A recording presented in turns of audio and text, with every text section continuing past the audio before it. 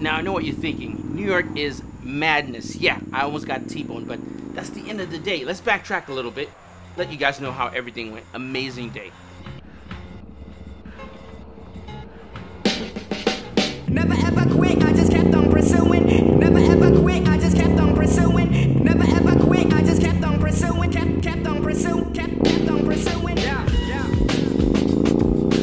I'd say it's a pretty dope day out. Weather's perfect. Charge the GoPros. Head out. I'm like, what the hell? I'm gonna shoot a video, drop something hot. Come to find out, I know you guys have experienced this. Charge your GoPro. When you get there, hit record. Nothing happened. So the first thing that came to mind was, hey, what the hell? I'm near Jane Motorcycles or Triumph Brooklyn. Let me head over there to see if the guys will allow me to charge my GoPro. Optimistically thinking yes. Yeah, yeah.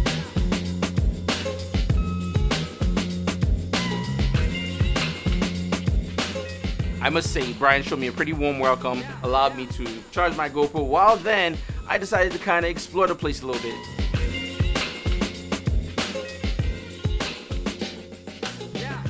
He's been trying to talk me into buying a Triumph Speed Triple. Let's take a look together. What I like about Triumphs, most of the line has a more upright riding position. They're very durable bikes, low ride height, very easy to flat foot it at all times, you know, when you're stuck in traffic. They're also, you know, bikes you can park on the sidewalk and not have to pay $250 a month for a garage. Now, I know you're watching this video, you're enjoying the spot, but I gotta stop it for one second. There's an amazing thing about this dealership slash garage. If you look, when you walk in, you'll see this metal plaque on the floor. It actually brings up the bike, and that's how they bring the bikes down so they can actually work on motorcycles. That's pretty impressive. Let's get back to the video. The owner of the building built it out to build uh, Formula One race car engines and other type of like boutique racing engines. So that's why we were sort of blessed with this amazing hydraulic lift in the middle of the shop. The majority of staff there are very friendly, very welcoming. They're more than willing to show you the bikes and explain to you why, what's gonna be the best solution for you. Also, they're not just gonna put you on a bike and send you on your way. They wanna make sure you're well protected, ATGATT, all gear all the time. They'll show you what's ideal for riding it throughout New York City. And as you can see in this dealership, you don't see Daytonas. Their main focus is to have everyday riders and people that are not doing street Rossi. So I thought it's pretty dope. Let's get back to the information. So your first oil change on a new Street Twin is going to be at 500 miles. It's kind of crazy. The next recommended service by Triumph is at 10,000 miles. It's sort of mind blowing, but that's just it is what it is. So you know, it really just goes to show you that the quality of manufacturing, you're just getting these service intervals are getting stretched, just because the bikes are that much better. For those of you that follow the channel, and for those of you that doesn't, why not? You should be following this page. Now, I do have an Instagram page right after visiting Triumph Brooklyn. Brian advised me to check out the local area for some dope places I'll be able to shoot. And boy, he did not disappoint. So definitely check me out on Instagram and see what I shot.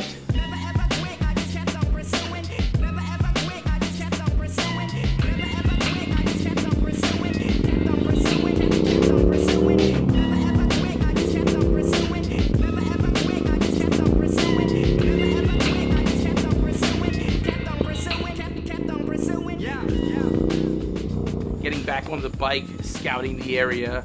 It's beautiful traversing through Brooklyn, man. You gotta see how much has changed, the bridges, everything. Is just an experience in itself, cutting through traffic.